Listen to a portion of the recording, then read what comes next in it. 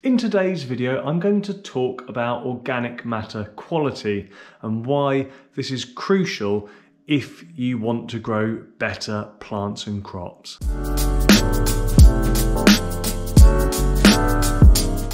Now in my other videos, I have brought up the subject of organic matter, which is really important for soil to work properly. And this is because organic matter contributes to a number of different things in the soil. The first of these is it fuels much of the biological processes. And what I'm talking about here are things like bacteria and fungi, which use the carbon in the organic matter as a fuel.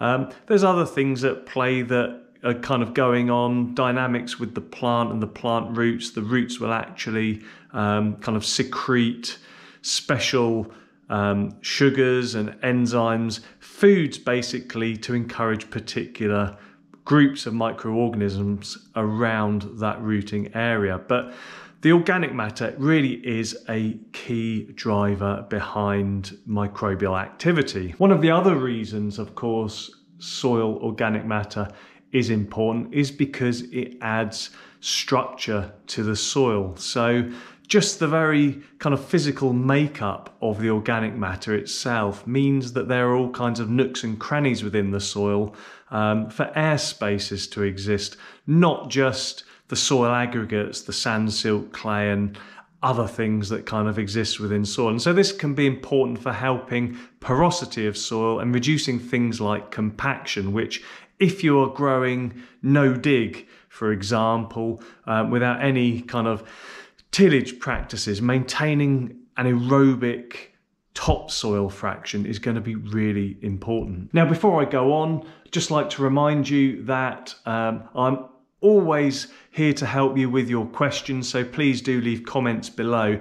If you like this type of video, please give it a like and also consider subscribing to the channel where I post more videos like this as well. But let's get back into soil organic matter. Now, the other reason that organic matter is really, really important for kind of soil dynamics is because of its moisture retaining properties. And what I mean by this is it can help actually regulate soil moisture. So whether you have loads and loads of rainfall, it kind of acts as a bit of a buffer. It can hold on to moisture and keep it in the soil for when it's needed by our plants. So during the summertime, for example, when moisture levels are lower, there'll be a little bit more moisture in the soil to help plants grow just that little bit more. Also, it can release water as well. So again, when there's too much water, it will absorb what it needs. But because of that kind of porosity as well that it creates that I've just talked about, it can help uh, excess water to percolate through the soil more easily as well. So all of this is great in terms of uh, organic matter. This is kind of why organic matter is a good thing, but I haven't really touched on the quality. There's actually very little out there available to most of us um, to help us to determine if one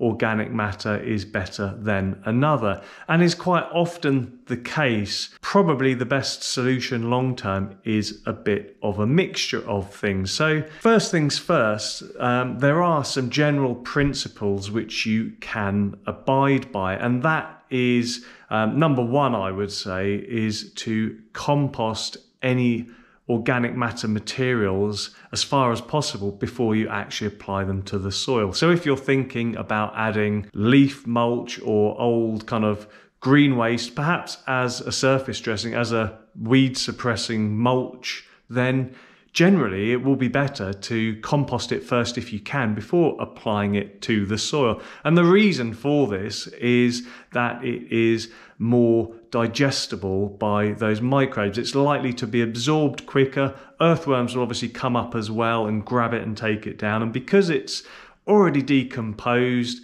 um, perhaps in smaller physical chunks, it's a little bit more palatable, easier to naturally absorb and take into the soil than if it was um, kind of raw organic material. So first off, you know, in terms of quality, you can look at how degraded and particular type of organic matter actually is. The other thing that I would say about quality of organic matter is the intended purpose. Now, much of what I discuss on this channel is geared around kind of supporting and driving the natural processes in the soil, which will in turn help you grow better plants.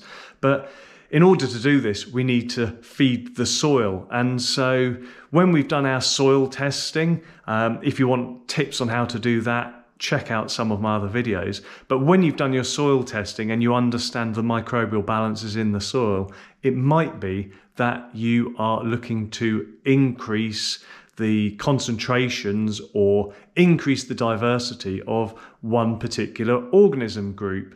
For example, fungi. A lot of soils are fungally deficient and therefore, in order to kind of boost numbers of fungi in the soil, one key way to address that is to provide fungally um, attractive foods. So particular strains of carbon or chains of carbon, I should say, like leaf mulch, for example, could be good for helping feed soil fungi. The humics which kind of are released as it naturally degrades can help to stimulate some of those.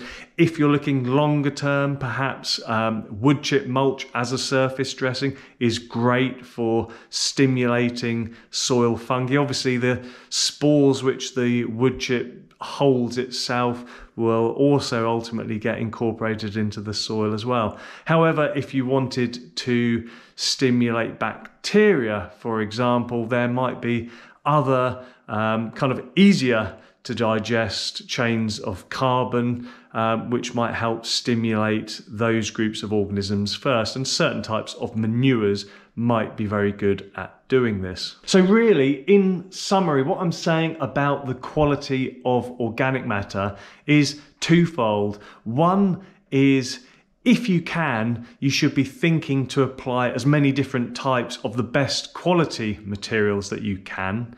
And ideally, uh, the, these should be as degraded as you can. And so you might consider um, a well broken down kind of material to be superior quality to a less broken down, a kind of more raw material. Um, so how well kind of decomposed it is would, in my opinion, boost uh, the uh, quality perhaps or quality perception of one material over another when looking to drive up levels of organic matter.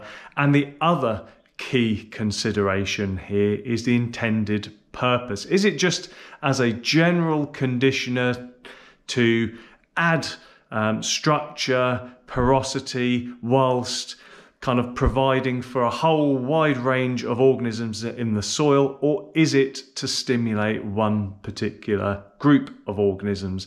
And in that case, you want to be thinking more specifically about the type of organic matter that you are adding. So there we go, bit of a hot take, that one today on organic matter quality. There's loads I've kind of missed from this and I'm sure you guys have lots of questions so get in touch if there are specifics about this that you want to ask.